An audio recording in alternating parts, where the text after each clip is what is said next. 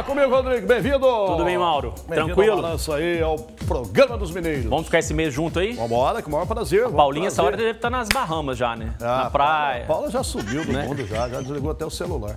É verdade. Vamos começar mandando abraço? Pode Vamos, ser? claro. Lá no bairro Caiçara, ali que gente, a Flávia, a Esther e a Ana Beatriz.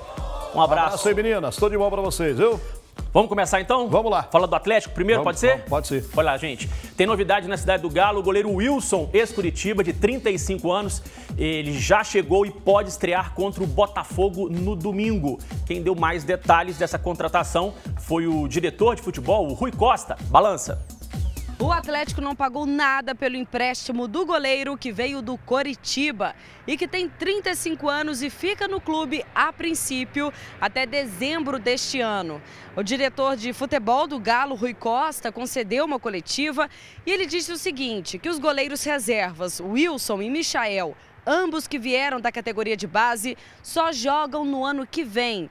Falou ainda sobre a situação do Vitor, que se recupera de uma tendinite no joelho e que com a convocação do Cleiton, ele se viu obrigado a trazer outro jogador para a posição. Diante desse quadro, em que você tinha cinco goleiros, e você tem hoje, neste momento, praticamente um goleiro, que é um jovem que não fez ainda nenhuma partida pelo Atlético, nós nos vimos na obrigação profissional de trazer um goleiro experiente.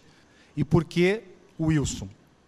Porque reúne as qualidades para preencher essa lacuna, porque manifestou muita vontade de vir ao Atlético, ele entende que isso é um, é um crescimento na carreira dele, e porque ele atendeu ao nosso pedido e a nossa proposta que esse contrato fosse único e exclusivamente quatro meses. Você É. achou? Bom, não sei. O o cara é experiente, né? O cara tem, é bem rodado, né? O cara tem 35 anos de idade. Agora, você vê, o Atlético tem cinco goleiros, só fica com um. É porque tá todo mundo no Pois departamento é. médico, né? Pois é, coisa né, complicada demais. O, o Vitor demorando demais para recuperar, né? Até mais do que a- a- o pessoal esperava, né? É, e o Wilson, ele tem mania de gostar de bater pênalti. Pô, eu vi ali. É. Batedor de pênalti ainda. Batedor de pênalti. Já pode jogar contra o Botafogo no final de semana. Vamos ver, vai estrear, né? E olha, gente, o goleiro Vitor, né? Muita gente se pergunta, e o Vitor, cadê o Vitor? É, ué. Pois é, o Vitor tá afastado do time há 35 dias, com uma tendinite no joelho esquerdo e ainda não tem prazo definido para voltar a jogar. É o que garante o diretor de futebol, o Rui Costa. Confira. O Vitor é um profissional que é capaz de querer jogar com uma fratura na perna. Então, para deixar bem claro que se dependesse da vontade do Vitor, ele estaria em campo. Mas nós temos que ter respeito pelo atleta, pelo ser humano e pela história que ele tem aqui no clube. O Vitor precisa de tempo para estar em perfeitas condições de praticar a sua atividade profissional. Tendinite numa pessoa, num cidadão normal, ela tem um reflexo na sua vida. Num atleta de alto nível, como é o Vitor, como todos que nós temos aqui, ela tem uma repercussão muito mais grave. Ela impõe uma limitação muito mais severa.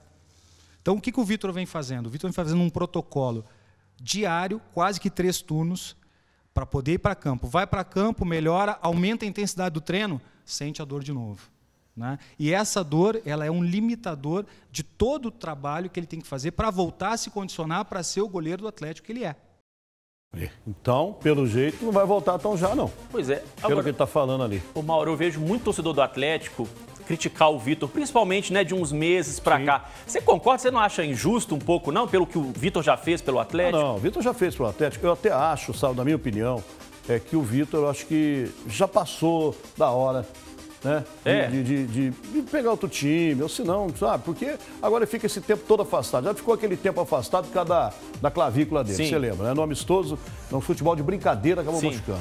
Agora pega essa tendinite, fica esse tempo todo afastado. Para pegar ritmo de jogo de novo, nessa altura do campeonato que nós estamos, eu acho um pouquinho difícil para ele voltar ne- nessa competição do campeonato. Não sei, viu? Eu acho que tem muitos goleiros pintando por aí, o menino lá tá bem. Agora vem um aí com a idade do Vitor, mais ou menos 35 anos. Se começar a pegar bem no gol, eu acho que o Vitor vai ter problema para voltar a jogar. O Vitor vai ficar no banco. Eu acho que sim. Ok, Mauro, vamos falar de Copa do Brasil Vamos. então? Vamos lá, hoje é noite de decisão, gente. Copa do Brasil vale vaga na grande final. Cruzeiro contra o Internacional hoje no Beira Rio. Você quer saber o que a Raposa precisa fazer para se classificar? Vamos ver então na reportagem. Depois da chegada aí do Rogério Senna, acabou, filho. Agora nós vamos passar por cima do Inter. É, dá pra ver que a torcida azul está confiante na classificação. Ah, lógico que dá. Você é doido? Nosso time é inacreditável, filho. Cruzeirão é isso, né, velho? Sempre virando jogo, ele foi, já foi muito conhecido por causa das viradas também. Com certeza, vamos com tudo pra cima desse. O Cruzeiro perdeu para o Inter no Mineirão por 1 a 0. Agora a parada é no Beira Rio. Respeitando o Internacional, colocando um belo futebol, é, se entregando ao máximo, a gente vai ter chance. E Fábio que fica esperto, porque se o Cruzeiro devolver a vitória por um gol de diferença, aí a vaga será definida nos pênaltis. Vai não, vai para pênalti não, vai ser passar direto. Vai ser um pouco sofrido, mas dá para fazer 2 a 0. Há quatro anos, o Inter não é derrotado em casa por pelo menos dois gols de diferença. O último a conseguir isto foi o Atlético, que fez 3 a 1 em 2015. É difícil, já repito para você, é muito difícil. Ninguém está ganhando do Inter lá, né? Não tem ninguém nos últimos tempos que ganhou do Inter. Nem o Flamengo, que jogou tão bem, não conseguiu a vitória contra o Inter. Mas é possível conseguir. Nós vamos lá para isso. O Colorado é treinado por esse cara aí, fã de Rogério Ceni. Rogério é um grande, um grande treinador, fez um trabalho excepcional no Fortaleza. É, por isso também a contratação dele pelo Cruzeiro. O Dair sabe que não tem nada decidido e falou isso aos jogadores dele logo após a vitória no Mineirão. Não tem nada decidido, como da mesma forma eu viria aqui. Eu viria aqui, se nós tivéssemos perdido de 1 a 0, 2 a 0, eu viria aqui para dizer, ué, vamos levantar a cabeça porque tem outro jogo que tem 90 minutos. Então, que venha mais uma grande decisão. Uns 2 a 0 pro Cruzeiro. Eu acho que dá, com certeza. A gente vai tentar agarrar da melhor maneira possível, com muita força, com muita determinação, porque a gente precisa muito desse título aí. A gente tem que ter o dobro dessa motivação deles para poder não ser surpreendido e conquistar a nossa, nossa vaga para a final. É, olha, não vai ser um jogo fácil. Vamos botar pé no chão como o Rogério Senna botou, né, Rodrigo?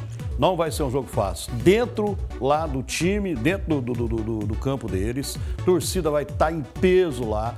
Eles são realmente aí bem treinados, não é brincadeira. Então vai ser um bom jogo.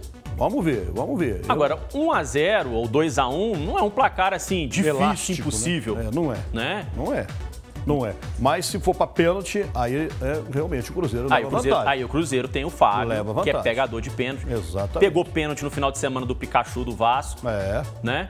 Então, assim, 1 a 0 não é um placar, assim, impossível Não, não pro é. Cruzeiro. Não é.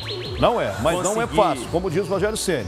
Né? Não é fácil, mas vamos lá, vamos ver esse jogo hoje aí. Pois é, olha só, gente, imagens do centro de treinamento do Grêmio em Porto Alegre. Foi lá que o Cruzeiro se preparou para o jogo desta noite. O goleiro Fábio destacou que a chegada do técnico Rogério Senna há três semanas trouxe um novo ânimo para o grupo. E o que o time celeste também pode fazer história na noite de hoje. Fala aí, Fábio. A do Rogério foi importante, né? Algo novo, né? Uma evolução nítida, né? Em todos os aspectos ali dentro de, dentro de campo. Nós temos a oportunidade ainda nesse, nesse jogo de volta, né? De conseguir fazer história, né? É, novamente ir para a final, né? Terceira, terceiro ano consecutivo. Mesmo jogando fora de casa, a gente precisa de uma vitória simples para pelo menos ter a possibilidade de continuar sonhando aí nas penalidades para conseguir a classificação. Isso aí, ó, 1 a 0 já vai pro pênalti. Pênalti, eu vou te falar.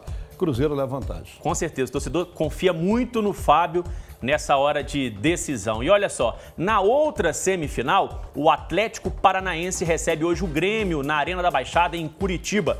No primeiro confronto entre as duas equipes em Porto Alegre, o time gaúcho venceu 2 a 0. Vale destacar que quem for campeão da Copa do Brasil fatura um prêmio de 52 milhões de reais. O vice leva 21 milhões de reais. É muita grana, É Mauro. grana, é grana. É 52 milhões de reais. Dá pra você botar o, o teu time aí num acerto aí legal, trazer jogador. Acerta o ano, né? Investir no futuro, entendeu? É uma grana boa. Veja bem, quem for para a final, no mínimo, já garantiu 21 milhões. 21 milhões. Já é garantiu. dinheiro. Muito bom, hein? É muita Excelente grana. premiação. E olha, a seleção brasileira está treinando em Miami, nos Estados Unidos, e se prepara para amistosos contra a Colômbia no dia 6 e também contra o Peru no dia 10. Tite esboçou um time titular com Ederson, Daniel Alves, Marquinhos, Thiago Silva e Alexandro. Casimiro e Arthur, David Neres, Neymar e Coutinho com o Firmino na frente. Ô Mauro, o Neymar não tá jogando, tá treinando em separado no PSG. Você teria levado o Neymar assim Eu mesmo? teria levado. Sabe por quê? O Neymar, o Neymar, segundo eu estava lendo, pesquisando, ele está com vontade de jogar. Ele quer mostrar que ele é jogador e quer mostrar que ele é um dos melhores jogadores do mundo. Não é, não é? Ele está treinando, está correndo. Então eu acho que agora é a hora da gente ver o Neymar. Mesmo sendo aí, eh, não estando num time jogando, agora vamos ver quem que é Neymar, né? Vamos ver. Então Agora- eu estou torcendo muito para que o Neymar faça um bom futebol. Agora, eu, eu sinto falta da seleção brasileira fazer amistosos contra seleções mais fortes. Alemanha, Itália. Então, você vê, é, é, nós vamos fazer contra a Colômbia e, E o Peru, Peru. né? É, São- Vamos agora na Copa América. Pois é, mas são dois. seleções até fortes um pouco, viu? Eu, eu acho que realmente já dá para Podia mudar, né? É, vamos devagar para não levar um- uns trancos e barranco para frente aí também. Então pega um trem muito forte, ele leva 5, 6, aí pronto. Aí, des- Aí desan- desanda a maionese. Aí desanda a maionese. tá certo. E olha só, Mauro, sabe quem é que tá ansioso Ah. para estrear com a camisa da seleção principal aos 19 anos, gente? Ah. Vinícius Júnior, Olha. o atacante do Real Madrid, disse que ainda sente um frio na barriga e que já está tendo que ensaiar uma música para cantar na frente dos companheiros no tradicional trote dos novatos. Roda aí. Ah, preparado, preparado, não tô não. A música acho que o pessoal já sabe qual vai ser. Atrasadinha. Vamos pular a parte que eu peço aquele vinho do bom. A taça não merece o que não. Deixa... Vamos pular. Jogar bola que é Vai jogar bola. cantar. Vai Ó. jogar bola que é melhor que cantar. Co- Como, como diria uma amiguinha minha de três aninhos, Ah.